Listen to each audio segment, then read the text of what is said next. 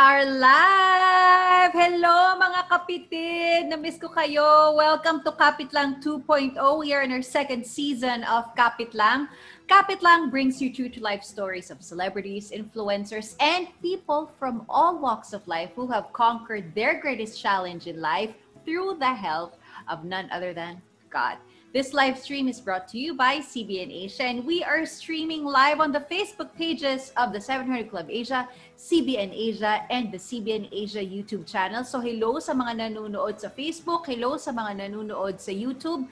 Mga kapitid, maraming maraming salamat sa pagdalo sa amin ngayong gabi. And imbitahan nyo na ang inyong mga kapatid, kapitid, mga kapwa nating kapitid na manood ngayong gabi. We have um, a very... Uh, encouraging uh, story tonight brought to you by our very special guest. So, um, mag-shoutout na kayo, mag-comment lang kayo kung saan kayo nanonood para mabati namin kayo. Feel ko kung taga Mindanao kayo, extra matutuwa kayo sa ating episode ngayong gabi. Send in your questions. Um, just type it down in the comment section.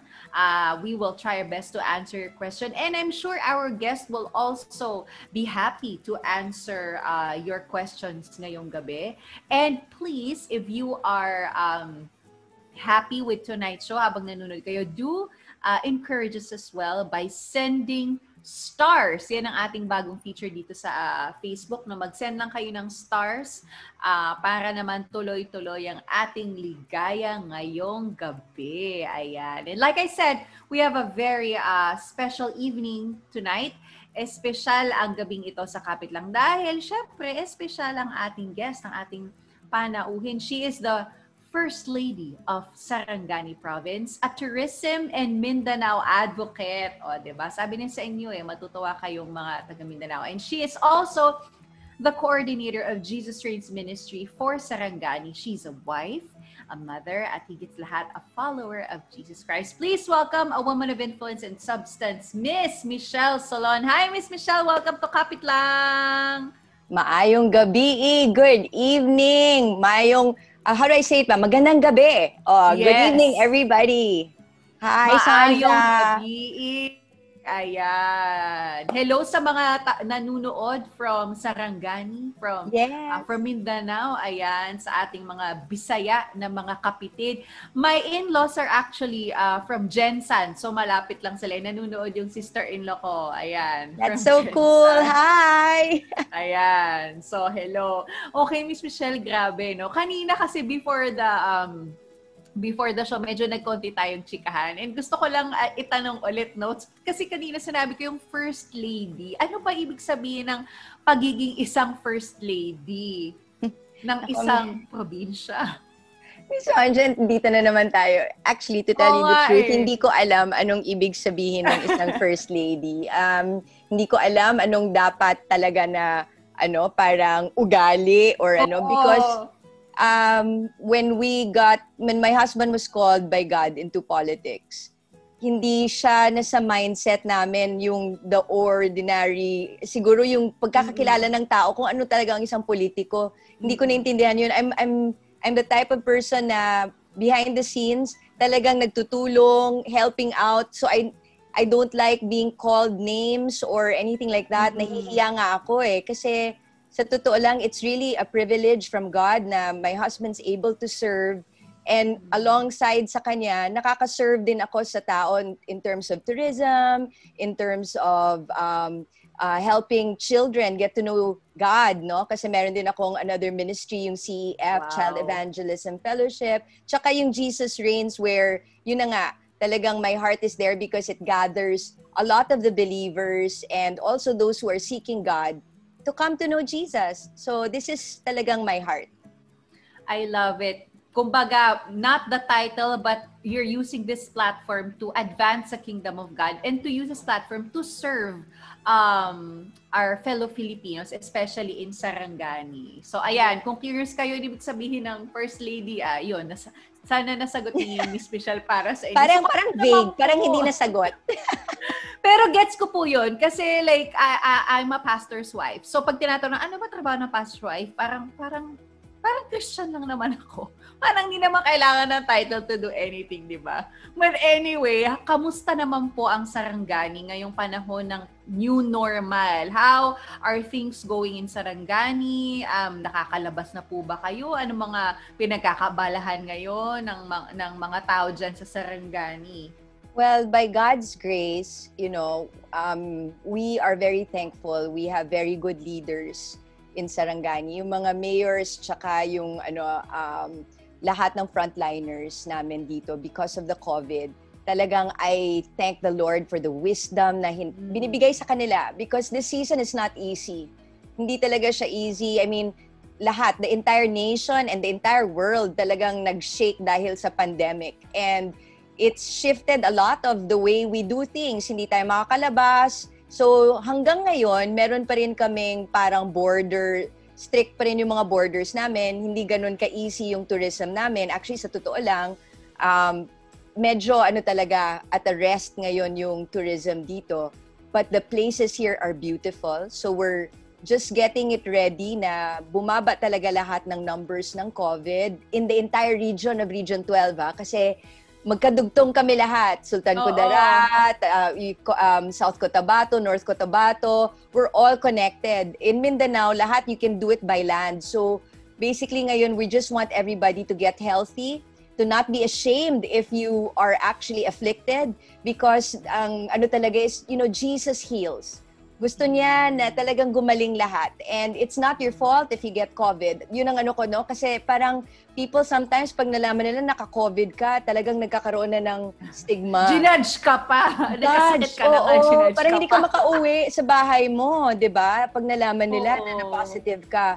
So dito sa amin, we're really um, driving hard na this is a season of wisdom. Ibig yeah. sabihin, kailangan mag-proper protocols tayo. 'di ba? Mask, face shield, Go mm-hmm. out when necessary. Pag hindi necessary, just stay at home. Yeah. Stay healthy, sleep early, kumain ng malusog na pagkain. Dahil doon talaga tayo magkakaroon ng ano, strength and antibodies natin malakas. And of course, dapat, okay, in Bisaya, mag-ampo kita tanan. We pray. Magdasal. Mm. The Lord is the one that protects us. Diba? Mag-ampo.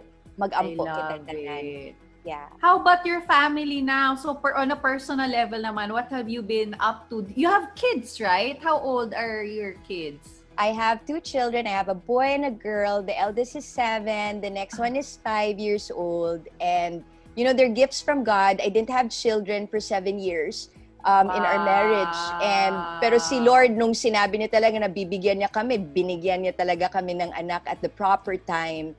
And I encourage no mga nanonood diyan na naghihingi ng anak sa Panginoon, wag po kayong mawala ng pag-asa kasi si God is a promise keeper. If He promises to give you a child, nandyan talaga yan. You just have kapit lang sa Diyos. Kapit lang. Ayun! No, 'di ba? Na, na, naunahan na ni Miss Michelle ate ang ang kapit lang. Ang daming nanonood sa atin ngayon, Miss Michelle. We just wanna say hi to them. One of them, pakilala pala natin pareho, si Amanda Lauzon. Oh. Sabi niya, hi Sonja and. Sabi niya, hi Amanda. Thanks I love you, watching. Amanda. Thanks for watching.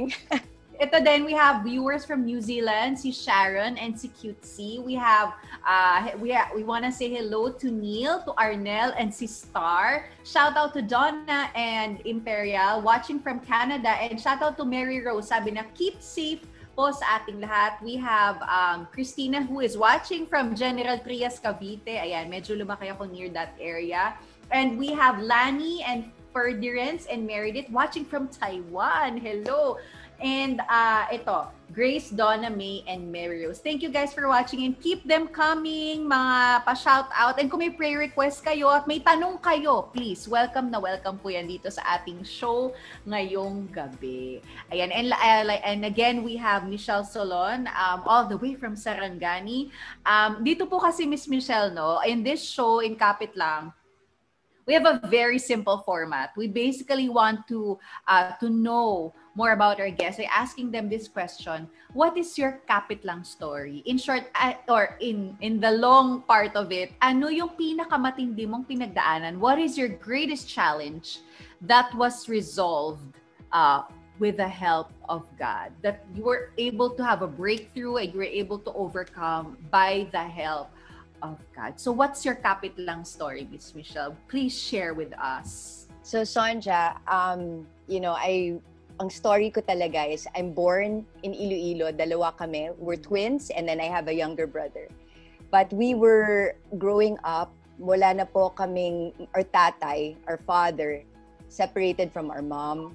And then we were only eight years old at that time. My mom was very young. She was only, if we were eight, she was 19 when she got married. She had us when she was 20. So she was only 28 years old. So wow. you can imagine, bata pa talaga, no? Um, and it was very difficult kasi we were estranged sa tatay namin. Hindi talaga namin siya nakita. Tapos parang ayaw makipagkita din sa amin. Hindi namin naintindihan. And I grew up as a daddy's girl. So, nung nawala siya sa buhay namin, it was very, very hard. It was so difficult. And really, I have a shout out sa lahat ng mga single moms dyan. You know, God has a special place for you in His heart.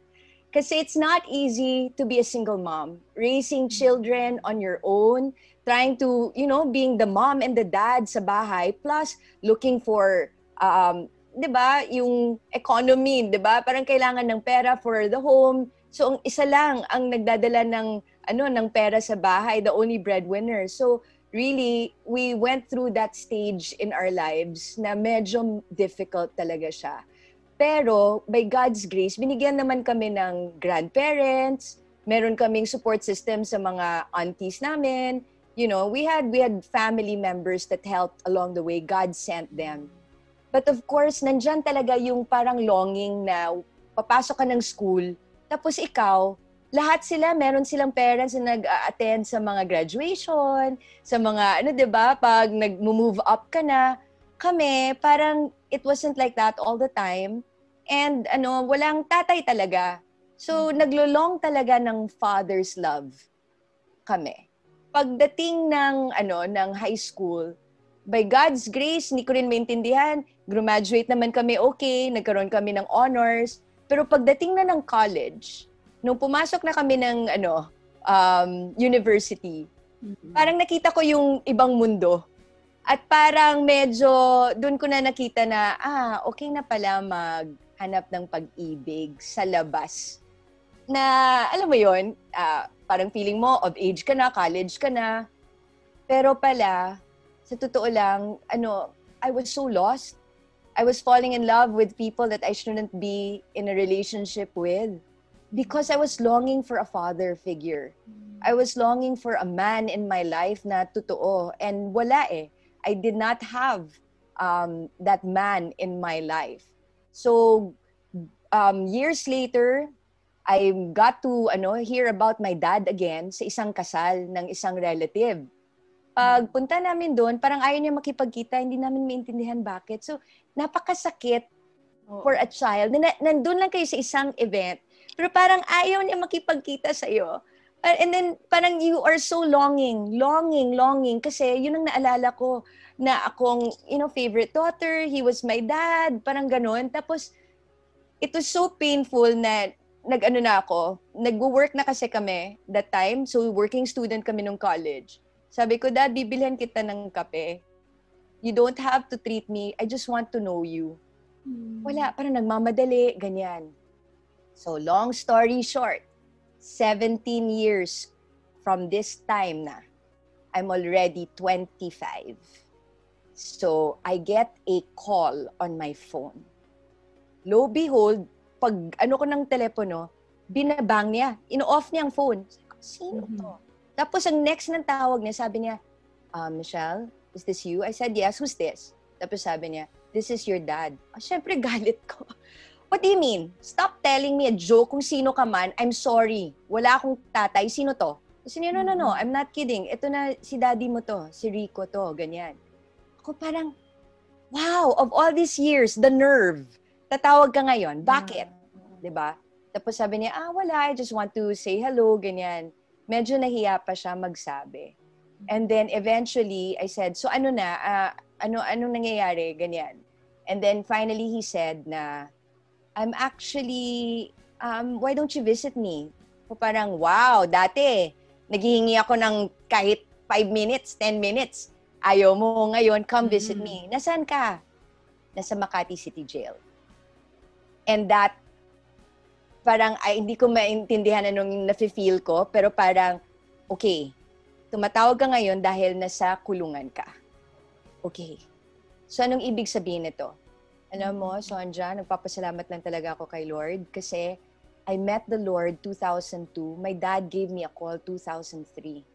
So, Wow. it was God's perfect time. Alam mo yon Kasi kung hindi ko kilala si Jesus, feeling ko hindi ko rin talagang gagawin yung nagawa ko right Oo. after. Mm. Hindi ko maintindihan bakit parang parang pinupush ako ni Lord na punta ka sa kulungan. Puntahan mo sa Makati City Jail. Sige na, puntahan mo. So, I go there, hindi ko alam anong ina-expect pala doon. Pagpasok mo pala, for those na hindi nakakaalam, pero kung may relatives kayo sa kulungan, hindi po siya komportable na posisyon. I-check po nila lahat. Yung bra mo, yung ano, pantalon mo, baka may dala kang drugs, ganun ba yung feeling? So lahat ng gamit mo talagang inuukay nila doon. Tinitingnan nila. Tapos may stamp ka dito, tatlo. ba? So marka talaga na paglabas mo, pa, yung stamp na ginagamit nila, yung ink, parang pang-eleksyon, yung hindi tatang hindi Indelible. matanggal. so paglabas mo talagang ilang araw, nakikita na galing ka doon, di ba? Parang, oo. So, for me, Wow. very humbling siya na experience na papasok ka doon. And, you know, when I saw it, talagang awang-awa ako. Ang kulungan natin hindi maganda ha. Hindi siya Mm. komportable talaga. Itong description, punong-puno. Para silang sardinas. Tapos, pag gabi, pag tumayo ka lang, umihi ka, pagbalik mo, kung saan ka humiga, wala na. May kumuha na ng space mo. So, you know, talagang ang sakit doon, pag makakuha isa, magbo-boil lang, magbo-boil na sila lahat. Trangkaso isa, trangkaso na lahat. So, lahat. Dahil ano eh, sobrang sikip ng ano, ng jail. So medyo nung nakita ko 'yon, talagang pinakita ni Lord sa akin, pinalambot niya yung puso ko. Pinalambot ni Lord yung puso ko. Tapos ito na, ito na yung sinasabi ko na kay God na iniiyak ko ilang years nung bata pa ako. Mm. Na Lord, you give me, I want to know my Father. And then now, now 25 na yun ako, binigyan niya ako ng pagkakataon to meet Him again. Not in the position or in the best way na hinihingi ko. Medyo ano siya, hindi siya komportable, Mm. pero that was God's design. And dahil doon, nagkaroon kami, Sonja, ng ano, ng reconciliation ng tatay ko. Natanong ko sa kanya lahat ng mga tanong na gusto ko tanungin nung bata pa ako. Ba't mo kami iniwan? Saan ka pumunta? Ba't hindi ka nagsuporta? Ba't hindi ka ganito, ganyan? Mm. Natanong ko lahat yon and God healed my heart. He healed my heart even when my father actually answered me. Ang sagot niya sa akin, Sonja, napakasakit. Hindi ko alam. Sabi ko, nung tinanong ko, ba't ka umalis? Ba't, ba't hindi ka nagpakita? Ba't ayaw mo kaming, di ba, ayaw mo mag-meet sa amin? Ang sagot nilang, hindi ko alam. Will you forgive me? So this was really something na I had to do on my own with the help of the Holy Spirit was to forgive. Kasi without forgiveness, I would never be free. And the Lord showed me everything that needed to be healed in my heart. All these years, lahat ng healing na hinihingi ko sa Panginoon, ito na yung panahon na yon. And God was so faithful. Kasi alam mo sinasabi ng tatay ko, o ano, bisita ka ulit sa akin, hindi na ako aalis, nandito lang ako. Oh. Tama naman, hindi na siya makaalis, di ba? So, when I met him, two years na siya doon sa jail. And God, by God's grace, um, that time, Purpose Driven Life na book, napakalakas ng movement ng Purpose Driven At Life. that time, oo. At that time, so I gave him a Purpose Driven Life, I gave him the Bible, and I was able to share Jesus to my dad. And by God's grace, he accepted the Lord and made him the Lord of his life. Parang ano, parang basta hindi ko siya maintindihan how God did it, but he did it. He restored a relationship na hindi ko ma-imagine. Nung bata pa ako, tapos hinahabol mo yung tatay mo, tapos hindi ka Yeah. pinapansin. And then, and then, in maybe the worst circumstance, but turned out to be one of the biggest blessing na God will allow restoration. 'Di ba? Kaya talagang Jesus reigns in families. Oh, When oh Jesus nga is king. Sabi ko nga 2002 ako na talagang I gave my life to Christ. 2003 kung kailan ito nangyari na the Lord allowed me to meet my father again. So that's my story. Wow. Thank you so much for sharing that, no? I'm just curious, uh, Miss Michelle, that's, na, nagpipigil ako umiyak kasi sa wala pala akong tissue dito sa, sa vicinity. Pero I'm curious, ano daw yung reason niya? Finally, he was able, you know, parang siguro yung shame niya, iniisip ko lang your dad must have felt shameful, probably why he didn't call, hindi din niya alam. Pero ano daw yung nag-udyok sa kanya na tatawagan kanya after all those years na nasa kulungan siya? What made him call, you Call? daw? Um, you know, basta that, remember yung sinabi ko sa'yo na may wedding, tapos parang nagmamadali siya, parang nahihiya siya makipagkita sa amin. I gave him a calling card. Ah. And that's when he, parang bigla lang, at least I knew, tinago niya, di ba? Oo Ilang nga. years tinago niya, pero wala lang talaga siyang courage siguro to talk. Or baka Oo. naman merong things din sa buhay niya na, ano, kasi when I met him, meron na rin siyang pamilya. Another family. So, um, siguro nahihiya siya to show that to us. But when we were, when we were met in jail, lahat na talaga nasabi. Alam mo yun, wala nang tinago. So beautiful. So, even me, all those things, parang yung clarity, every child that's orphaned, alam ko yun eh. They need to be healed in that area. Yeah. They need to know eh, what happened, di ba? Bakit? And sa akin, what a blessing from God na He allowed me to know.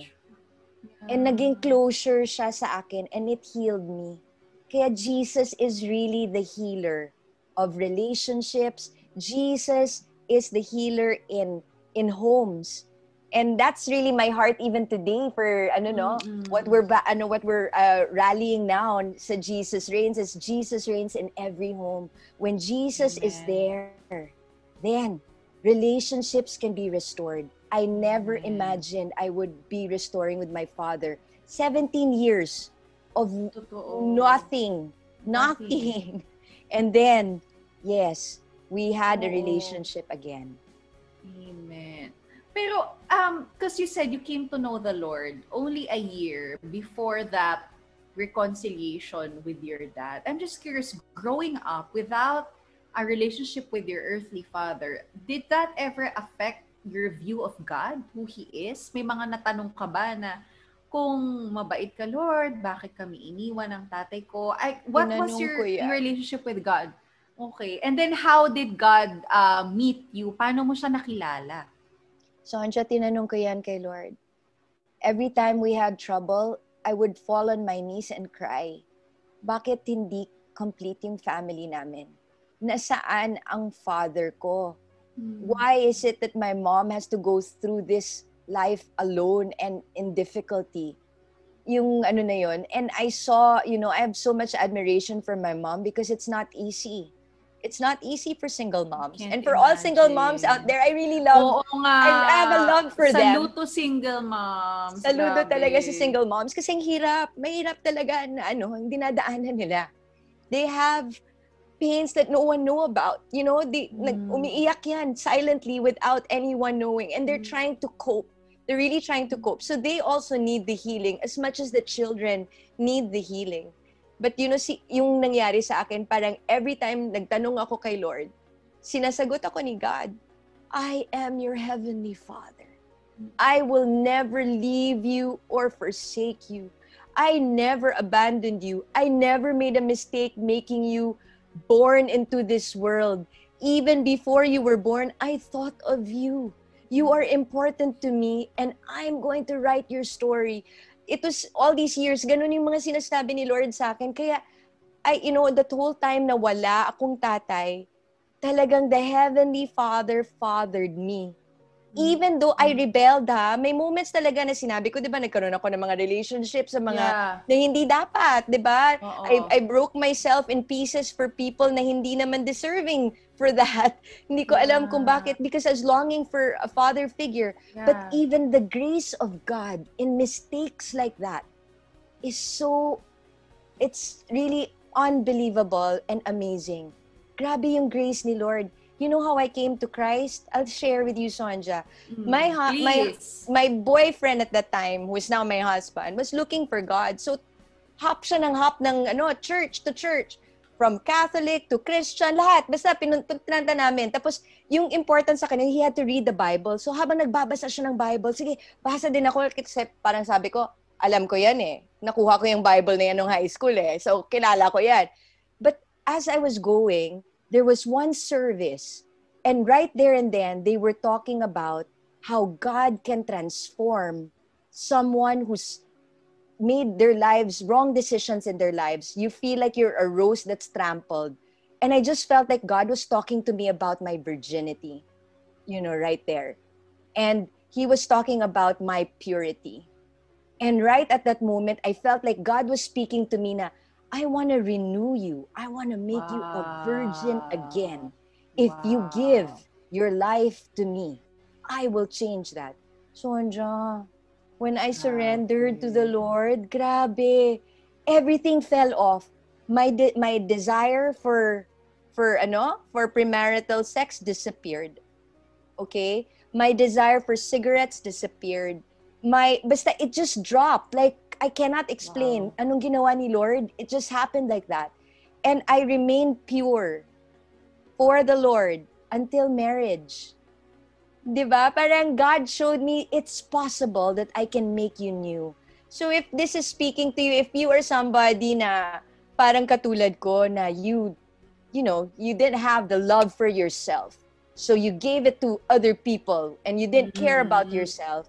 And then now you realize, no, God has made me special and He loves me. He loves you. Then God can do something right now for you. If you want to trust Him, kung kakapit ka lang sa Kanya, He wants to renew your heart. He wants to renew your mind, your body, and your spirit. And you could be a spiritual virgin again. Oh, yun ang ano ko. The Lord has done that for me and I know. Grabe, ang rich ng ating dami nating natututunan ngayong gabi. So, Miss Michelle, no, going back to your dad, then ha, after that encounter in 2003, after that um that conversation, so paano unti-unti nang nabago yung dynamics ng relationship mo with your dad? Yeah. Paano na yung ano, paano unti-unting na-restore ni God yung relationship niyo ng ng father mo? So I would visit him always in the ano, um I have like a schedule of visit and then Mhm. syempre um hindi alam ng lahat pero being in jail, you need family members to support you. The food hindi po masarap doon. Kailangan mo talaga padalhan pa rin ng pagkain. Grabe. Tapos medicines pagka ano na, 'di ba? Kasi senior na rin yung dad ko nung time na yun. So you, y- meron na rin mga lumalabas na mga sakit and um that's when ano na parang God spoke to my heart to be more generous and to when you forgive dapat it comes from a space na you're able to now bless the one that hurt you the most Mm. And ganun, that's what happened to me. I was able to bless my father and I was able to, you know, get wisdom from him also. Doon talaga, talagang pag sinabi ni God sa word niya na honor your father and mother. For this is the only one no, that has a promise that you will have a long life and a prosperous life. Yep. Totoo yun. Totoo yun. Kasi even if they were mistaken, your your parents are not perfect, no? And I am now a parent. I know I'm not perfect. I may disappoint my children one day. Pero by God's grace, there's wisdom that you really can get from your parents. And while they are alive, you know, enjoy learning from them, enjoy hearing from them, for God speaks through our parents. And yun ang naging ano sa amin. We had open conversations, um, meron kaming mga ano din, times that we laugh, you know. So I got to know my father at least for a good 12 years because my dad died in jail. Oh. He didn't he didn't come out. He didn't come out. The, the ano was ano um wow. he got sick. He got sick. But you know, when he passed away, hindi po kami na nag-worry because we know where our dad's going. He now has the full freedom. Yeah, that's All right. the years na 12 years, 14 years in jail na sobrang sama ng ano now he is mm-hmm. free. He is free from all of that and he's enjoying the presence of the Lord Jesus. Kaya yeah. talagang ano, it's so different pag nandyan ang Panginoon sa buhay natin. Yeah, and at least in those 12 years, you know, you had a restored relationship with him. My question lang po, no, okay lang ba itanong, was he ever, um, nagkabati din po ba sila ng mom mo and your, and your sister, your siblings? Nagkaroon with din ba my ng siblings. Uh, with my siblings, lahat kaming magkakapatid, we had restoration. And we would visit dad, ano, actually, sabay.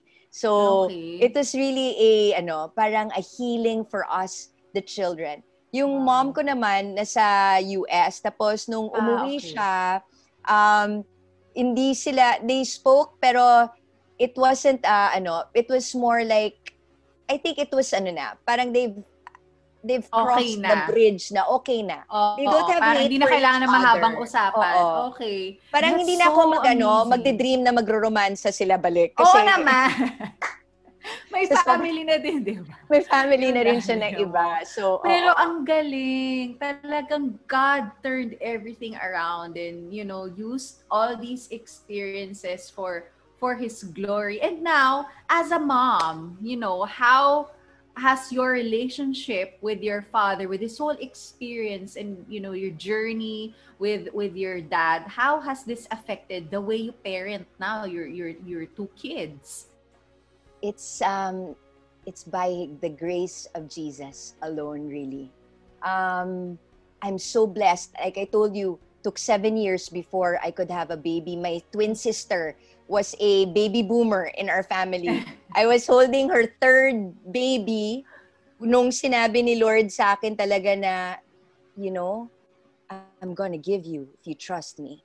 So Aww. talagang I trusted. And the Lord, in His good time, in His promise, He really gave us a child.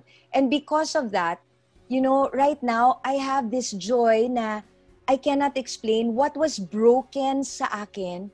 The Lord restored also to a generation that's new, to my mm. children. As early as now, actually, nag-ano na rin to eh, nagme-ministry na sila at ano, wow. as early as their age they they join 700 club for prayer chains and things like that. Oh, come they, on. Yes, they love the Lord.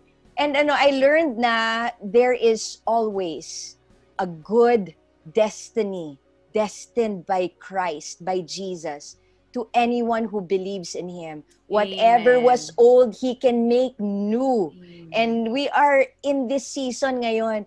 Talagang si God is a God of restoration and he wants to restore families. He wants Amen. Jesus to be reigning in your family because the blessing is going to come. And I right now the way I parent, it's so different from my parents. Talagang as mm. early as two years old, someone challenged me, turuan mo yung anak mo mag ano, mag-memorize ng Bible verse. Ko, ha? At two? But you know, by faith, I did it my two-year-old at the time, Joshua was now seven, was able to say, For God so loved the world, oh, He wow. gave only Jesus, that whoever believes in Jesus will not die, but have everlasting life.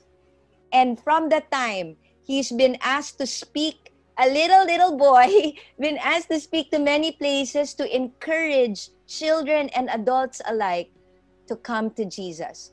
So, ibang-iba, so sobrang iba, Sonja, yung upbringing ko to the way we're doing it now. It's really by the grace of God. I cannot claim anything.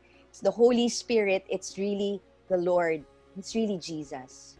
Amen. Ang galing, ang galing po, no. Ito may may may question po kasi dito, may phone in question. Sabi, paano din daw naka-affect yung, syempre because now you're, you know, you're in a place of leadership in Sarangani with your husband and parang considered parents daw ng Sarangani. So how do you then, um, you know, in a way, uh, ano yung mga nagawa ni God's heart with this journey with your dad and how you um in how you in a way uh, parent Sarangani or as a mother of Sarangani daw paano mo daw minamother ngayon ang ang probinsya ng Sarangani you know i because of the orphan experience there is really a great love for ah. children and a great love for people you know and respecting ano siya um here in Sarangani ang tawag namin dito we call, uh, Steve calls his governance God-centered governance, God-centered prosperity.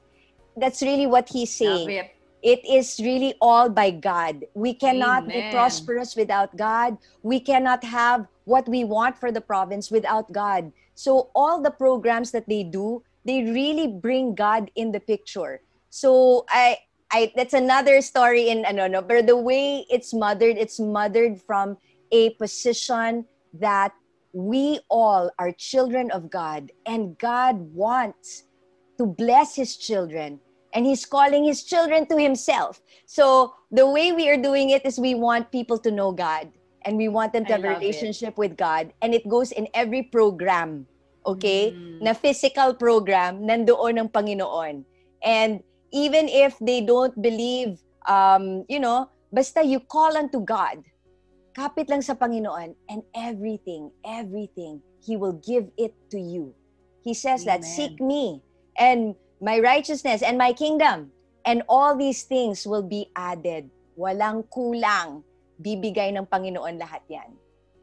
Nag-uumapaw pa. At you know, I'll, eh, di ba? You know, it's so amazing because just hearing you, you you you speak about your life and how the Lord has moved in your life. Talagang when God first, you know, there was brokenness in your life. God restored you to Him first, and then He started restoring um, your family, all these broken pieces. God didn't just restore them na para. He really made something new out of out of the life that you had in the past before you came to know Him, and it's so evident in the way you parent, in the way you you lead uh, all these um, uh, these ministries that God has entrusted you with and also a province, this province that God has entrusted you with. And you know, Miss Michelle, ang dami, gusto ko nang ano eh, i-grab yung opportunity to. Da, dami nanonood kasi ngayon na kagaya ng sinabi mo, na gustong i-restore ng Panginoon sa Kanya.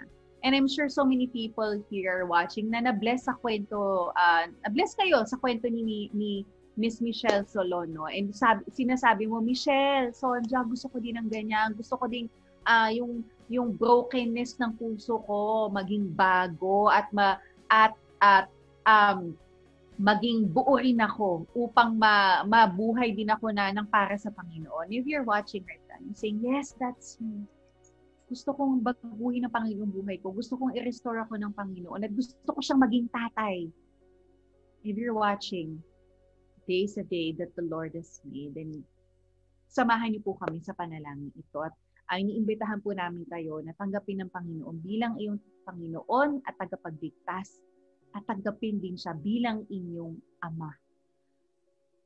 Panginoong Banal, maraming maraming maraming salamat sa araw na ito na ang dami kong natutunan and I know now, Father, that you are my Father and that you created me for you and I'm your child. And now, humihingi po ako ng tawad sa lahat ng kasalanan ng aking nagawa. At ngayon, uh, tinatalikuran ko ang aking, ang, uh, ang aking buhay upang sumunod sa inyo at ibigay ang buhay ko ngayon para sa inyo at tanggapin ang bagong buhay na ibinibigay mo sa akin. I'm declaring now that you are my Lord and my Savior and you are my Father. Lord, I accept you in my life and give me grace so that I can uh, follow you fully and honor you all the days of my life. In Jesus' name I pray. Amen. And if Amen. you prayed, if you prayed that prayer, please send us a message na yes, tinanggap ko si Jesus. Ilagay nyo lang po sa comment box namin na yes, tinanggap ko si Jesus. And if you want to know God more, our prayer center can refer you to a Bible study group and even pray with you um, pray, pray for your concerns and help you grow in your walk with God. So please mag-comment lang kayo ng BSG kung gusto niyo pong maghanap din ng, ng Bible study group. At kung kayo ay nanonood sa amin from abroad at may prayer request kayo or gusto nyo pong maka, makipag-usap sa aming prayer counselors, you can reach us through our Viber number 0949-888-8001, 0943-144-933, or via Skype, just type the 700 Club Asia para po makapag makapag-usap tayo ng aming mga trained prayer counselors. Ayan! Maraming maraming salamat. Miss Michelle, grabe, ang daming, uh, ang daming comments kaagad na pumasok habang nagkikwento kayo. Ang daming na-touch. Sabi nga ni, um, sabi ni, ito, nasa na ba yung, ito. Sabi ni Neil, praise God. Uh, nakaka-relate daw po siya sa sinabi ninyo na uh, na parang naging spiritual virgin again because of of a new life in Christ. So praise God for that may mga uh, prayer request din pong pumasok. And we'll ask Miss Michelle to pray for for you guys later on. So, basahin na rin natin ang inyong mga prayer request. Sabi ni Inaj, please pray po sa mga anak ko uh, napasamay at ang sakit ng ulo. Hirap na hirap po ako. Naku, really tayong mga nanay paano magdisiplina ng mga anak. Pero dahil si uh, dahil si Lord ang ama natin, tutulungan na tayo dyan. Si Elsa naman, sabi niya, please pray for encouragement, comfort, and peace of mind upon me, and good health and financial provision. Sabi naman ni Chris, please pray for my family's financial needs. Uh, praise, eh, I, financial needs, I praise and thank God, and I claim that this, this has already been answered. Amen. And sabi ni Maricar, um, healing prayer po, please haplusin niyo po ang nararamdaman ko sa aking um, body pain. Salamat Salamat. Ayan, yun ang ating mga prayer requests. And may mga comment din po tayo pumasok. Sabi ni Daniel, I agree. God will allow restoration. Mm, come on, Daniel. At sabi ni Grace, uh, praise God dahil napakabuti ng Panginoon. And sabi ni, uh, ni Raminder, yan, I hope I said that right. Sabi niya, I'm praying for all the people who need a healing touch from God. I'm watching from NC. So I assuming that's North Carolina in the USA, feeling ko. Yun na. NC, di ba? And shout out to Noemi, to Chris, shout out to Carol watching from Santa Rosa, Laguna. Uh, shout out to Cherry Chase, sabi niya, good evening, safely watching from Ligtong, Rosario, Cavite, under guidance, under God's guidance and protection. And hello to Joy Lynn from La Union, and hello to Lloyd from Valenzuela. Shout out na rin kay Romana watching all the way from Belgium. O, di ba? Grabe. I love how global our audience is. Miss Michelle, di ba? That's Para so amazing. po mga... Kayo po ba may gusto kayong batiin? Yes, I want to say good evening to all the Jesus Reigns family in all 82 provinces. You Hello. know, from ano from Sarangani to the rest. And actually, we also have Jesus Reigns uh, abroad, no? We have in Indonesia, we also have in the US, in Japan. So, yes, I want to shout out to all the family there, Jesus Reigns family. Hello, Jesus Reigns. And later we'll uh, we'll ask Miss Michelle to talk more about uh, Jesus Reigns. Pero sa mga kaka-tune in lang po ngayon, you are watching Kapit Lang produced by CBN Asia. And dito kasi, Miss Michelle, meron kaming, uh, syempre after ng ating mabibigat na pinagdaanan kanina, yung mga sinishare natin, we wanna lighten up the mood a little bit. And we have a challenge called Kapit Bitaw Kaset Challenge na magtatanong po kami sa inyo and we'll ask kung kapit or bitaw and sabihin nyo kasi. Halimbawa, kape or tsaa. Kape, ang kakapitan ko kasi blank. O, ayan, di ba? Pero bago yan, dahil pumasok na ang mga prayer requests, okay lang po bang ipag-pray nyo na rin muna ang yes. ating mga audience? Yes. I'm, party na po, I'm sure lalong makaka-relate po dun sa mga um, nagkaroon ng estrangement from their from their mom or or their dad. So I'm sure marami pong gusto mag-pray ng, ng emotional feeling din. Yes. Uh, so let's pray. Abba Father, we thank you, Jesus, that you are the creator of families. Father God, you designed and have not made a mistake who our parents are and who our children are. Yes. God, you know each of us individually, intimately, intricately. You know our very mind, our heart, our soul. You know our very being, God. And right now, in your name, Lord, you know the cries of the hearts of your children. For restoration, Father, we pray in Jesus' name for relationships that are severed, mga relationships, Lord, na kailangan magkaroon ng healing, Lord Jesus. We declare right now in Jesus' name for open doors of forgiveness. Open doors, Lord God, to let go of past hurts and bitterness and to receive forgiveness and healing. Father God, we also pray for those that are physically ill right now in the name of Jesus. By the stripes of Jesus Christ, you are healed. We pray for those that are having body aches, headaches, Lord, those that are fearing, Lord God, any um, disease or virus like COVID. We just rebuke and cast that out in the name of Jesus and now receive healing from the blood of Christ that was done crucified on the cross 2,000 years ago. And Father God, right now, we just declare Jesus reign in every heart. Jesus, you reign in our homes. Jesus, you reign in our business. Jesus, you reign in our studies. Jesus, you reign, Lord God, in our work. And Jesus, you reign in every relationship that we have that needs healing. And Lord, we just declare, because you reign, we will receive, Father, healing and restoration and everything, God, as we seek you, you will give it to us abundantly generously, and without any doubt, Lord, we believe it is ours. In Jesus' name, amen. Amen. Thank you so much for for praying, Miss Michelle. May good news kasi kanina, may uh, may mga nag-message na po that they received Jesus. So, congratulate natin. Welcome to the family of God. Sabi nila, tinanggap ko si Jesus. Uh, hello, Maricar, John, Lilia, Enelyn, Tess, Christina, and Marian. Welcome uh, sa inyong bagong pamilya kay Jesus. Ayan. Um, we're, we are going to do the Kapit Bitaw kasi challenge pero bigyan ko muna lang time si Mr. Sel maghanda kasi medyo uh, ma-intrigue, hindi naman ma-intrigue yung question, pero medyo challenging ang questions. 'Di ba? Pero habang sina uh, naghahanda si Mr. sagutin ang inihanda naming Kapit Bitaw kasi questions, we would like to invite everyone to please watch our telethon special na pinamagatang One Family from November 16 to 27 po yan, 12 midnight. Live niyo po kaming mapapanood sa Kapuso Channel GMA. Live streaming din po tayo sa The 700 Club Asia Facebook and YouTube channel. And we also have a pre-telethon show on November 6 to 27, 6 p.m. po yan on the 700 Club Asia Facebook. Kaya abangan nyo yan. And since 11-11 ngayon, alam ko nakapag-add to cart na kayo. Free shipping sa Lazada at Shopee. Add to cart nyo na itong Signpost 366 Days of Journey with Jesus, second edition, authored by our very own Sir Peter Kairu. So just go to the PCBS web store on Lazada and Shopee. Take advantage of um, this 1111 add to cart. Oh, ayan. Miss Michelle, ready ka na ba sa ating Kapit Pitaw kasi challenge? Hindi ko alam anong mangyayari, pero let's do oh, it. Oh.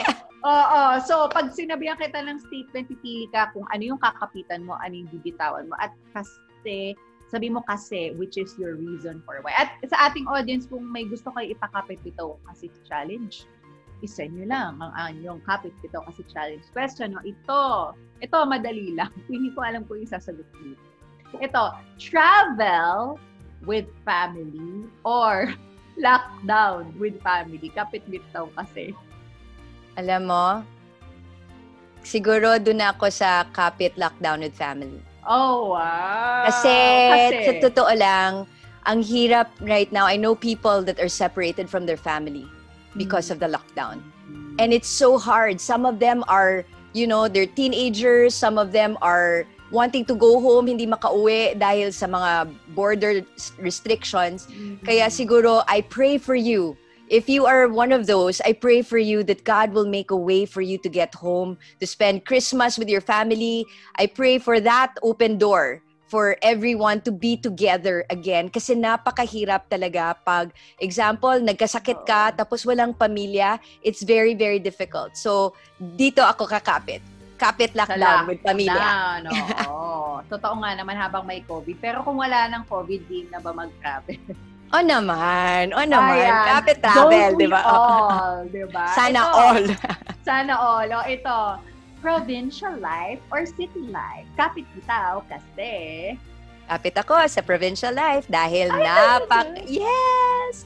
I love the provincial life. It's um masarap po yung pagkain namin dito, maganda po yung tanawin. It's really uh, very relaxed um version, masarap po magpalaki ng pamilya at ng kids sa probinsya.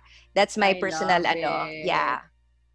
Kasi consider, considering lumaki kayo sa city, right? You lived Um, in Manila ba? Hindi naman. I did. I lived in Manila for for a while, pero talagang provincial life is so beautiful. And it's so, alam mo, parang ang nakikita ko pag natotoxic ka na sa city, kailangan mo pumunta ng probinsya. That's it. And when you're there, you get restored, rejuvenated, renewed, tapos ready ka na bumalik ng city ulit. Kaya dito na ako. Kapit probinsya. Kapit probinsya. At saka maganda sa Sarangani, parang an- nakapunta kami nung di- dinalaw namin yung family namin sa Jensen. We, we went to Sarangani, parang napaka-untouched talaga. Lahat ka magpunta, parang sobrang inexperienced for me mga beach. So parang, wow, I Yeah. feel so, so, so beautiful. So pag after lockdown, bisitahin niyo po ang Sarangani. Come on down, Sonja! Tara! Ah, yes! o, ito. Ay, ito. Interesting question. Sino bang nagtanong nito? Sabi niya, kung kayo, syempre, papipiliin, di ba? Retirement from politics or to, 10 years from now or tuloy-tuloy lang. Kayo together, serving in politics, mag-retire ba kayo within 10 years or tuloy-tuloy lang? Kapit bitaw kasi. Siguro, gusto kong sabihin pag na kapit ako sa retirement ng politics because maybe God has a bigger plan. Much bigger than politics. 'di ba? Yeah. Politics kasi is ano eh, you, you have a certain number of years of serving. But if you want to Mhm. really serve God, it should be an unendless whole lifetime kind of service. So you can it. serve God and people whether you are in politics or out of politics. Pero pasalamat kami sa Lord for giving the privilege to really serve Him. You know, my husband being able to serve Him in politics and to serve people and bring people to God. And that's the ano, that's the that's the greatest ano so far. I love it. So your platform, ang galing kasi your platform may change, but the heart to serve will always be there because wherever you serve, it's God who has placed you there. Amen. I love it. Oh, Amen. ito, ay nako, ano kaya itong sasagot ni Miss Michelle dito? Full-time wife and mommy. Kung papipiliin kayo ah, na talagang stay-at-home mom, full-time in the home, or mommy of Sarangani. Ano yun? Mama of Sarangani. I guess your role now in serving the province of Sarangani. Kung magpo-focus kayo, alin doon? Ah, kung papipiliin ka lang doon ng isa, tuloy-tuloy sa um, serving outside of the home or sa bahay ka lang talaga kung papipiliin ka. I'm just gonna stay with my family and raise my my my kids and serve from from home lang. Kapit ako sa serve my family kasi if you serve other people but your children rebel, your children will not Wow. be ano, uh, wha- what's the use of serving other people? Serve your family first, love them first, and then God will give you opportunities to serve others. So, dun ako. Here, Proper here. Same with air with everyone. No, tamang tama na. I hope lahat may mga kung may nanonood tayo ditong political leaders, so sana ganun din yung maging heart namin. Nating lahat pala, no? Kasi nga I, I remember this quote from from what you said. There's this pastor who said, "Let's not sacrifice our families at the altar of success." 'Di ba? So, I love true. it. I love. I love what you said. Oh, ayan. Ito na, na congratulations, nakapasa ka sa Business Challenge.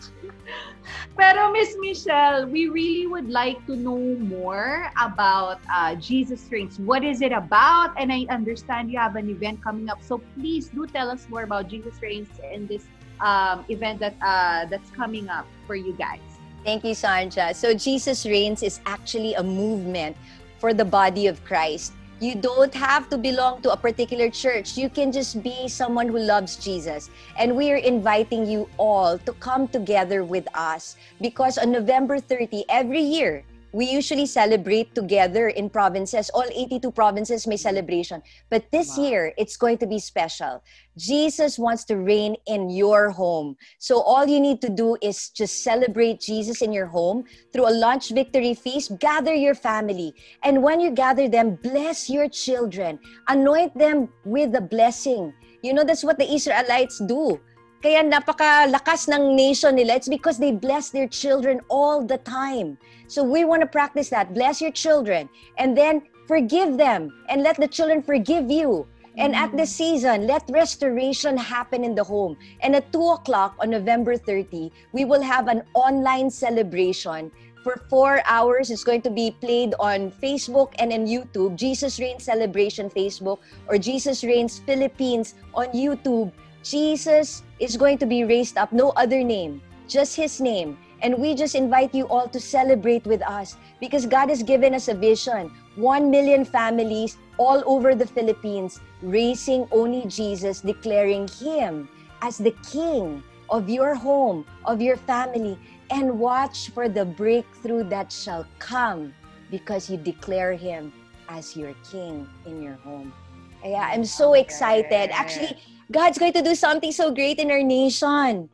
Well, after this November 30, I really believe, I'm really believing because we're all gathering. Sabi ng demonyo, ayan, hindi na kayo makapunta ng simbahan. O ano ngayon? Makapaano pa kayo? Hindi kayo makamass gathering. But God's doing something new. And yeah. He's using social media like this platform. Kapit lang, di ba? Miss Sandra, yeah. this is so good. God is doing greater things. His ways are higher than our ways. His thoughts is higher than our thoughts. And so This time around, we're going to do a virtual celebration and declaring every home belonging to Jesus. Amen. Walang makakapagpigil. And I love uh, when you said about uh, blessing your children. Kasi ma-notice mo, even yung mga Hudyo, sobrang successful ng children nila because it's the parents who really bless. Wala pong ibang mauunang mag-bless sa ating mga anak, kundi tayo mga magulang. So let's all do that um, November 30 po, no? So 10 November to, 30. 10 a.m., we're gonna have a family feast in the homes and then starting at 2 p.m., yun na po ang ating uh, virtual gathering together. Yes. I love it. Thank you guys for tuning in. At ito may mga uh, may bumabate. Alam, pili ko kilala mo to. Si Chat Ansagay. Thanks, yes. Mom Michelle Lopez Solon. Go, go, go sa Provincia Live. Ayan. Ating mga viewers. Hello. Si Makoy, sabi niya, God emptied us but He restored and uh, uh, He restored us and we have a great reward when we fully accept Him. And sabi ni Meredith, Nako, totoo po yung pag tinanggap niyo si Jesus sa puso mo, talagang malaking pagbabago sa buhay. Relate ako dyan. And sabi ni Tess, so inspiring to listen to you, Michelle. Help me, God, to grow deeper in my faith with the Lord. Nako, sasagutin niya. And nako, I'm sure ang daming na-bless sa inyo. Again, you are watching Kapit Lang, produced by none other than CBN Asia. And please, We are live uh, on YouTube and Facebook every Wednesday at 8 p.m. So please um, like us on Facebook and subscribe to our YouTube channel para po malaman ninyo kung kailan kami, may reminder kayo na live kami every 8 p.m. At please follow CBN Asia social media platforms, CBN Asia, The 700 Club Asia, and I Can Breakthrough. Reverb Worship PH, ang pinakabagong platform natin sa CBN Asia. And don't forget to like, share, comment, and of course, subscribe subscribe. Ayan, di ba? Sa sobrang eager ko. Mag-subscribe kayo sa CBN Asia YouTube channel and hit the notification bell para ma maging updated kayo sa aming mga latest uploads na videos and you have been blessed by this show and our other online shows, you can help CBN Asia continue to produce more inspiring content online. You can send us stars or you can go to our website, cbnasia.org slash give. And when you send in your support, you'll receive this exclusive gift. Please watch this video. CBN Asia nagturo sa akin na ako ay channel lang ng blessing ni Lord na binibless niya ako para maging blessing sa ibang tao. Join CBN Asia partners who are bringing the love of God to thousands of Filipinos in need of help, healing, and hope every day. Plus, receive exclusive online access to CBN's documentary. Thus says the Lord Fear not, for I have redeemed you. I have called you by your name. You are mine. The Hope, the Rebirth of Israel. When you donate 1,000 pesos, journey through the 50 years that paved the way for the founding of the modern state of Israel. Call 8737-0700 or go to thehope.cbnasia.org to send your donation.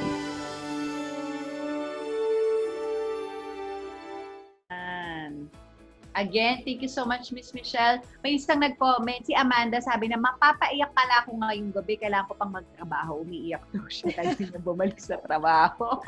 Glory to God. Pero ito, um, bago matapos itong gabing to, gusto lang namin itanong, please complete the sentence, Miss Michelle. Kapit lang kasi blank. Kapit lang kasi Jesus reigns. Amen to that. Amen. Mga- Amen. Mga kapitid, catch us again tomorrow here on Facebook and YouTube for our online show naman every Thursday, ang What to Say Thursday at 8 p.m. At ang pag-uusapan naman bukas, dealing with impatience. At ang host, eto, napaka-patient siguro ni Jamie at ni Nino, no? Abangan natin, madami tayong matututunan sa kanila bukas. You know, there's a poem by William Ross Wallace entitled The Hand That Rocks the Cradle is the Hand That Rules the World. And it talks about the greatest contribution of motherhood in world change. But for us who believe in Jesus, God's hand is the great and mighty hand that rocks that cradle. And it is the same hand na nakahawak po sa atin. Kaya mga kapitid, kapit lang tayo sa kamay ni Lord kasi hindi na tayo kailanman bibitawan. God bless you, everybody. Thank you, Miss Michelle, for coming. We'll see you again next time, hopefully in person. God bless Yes. you, viewers. God bless you. God bless.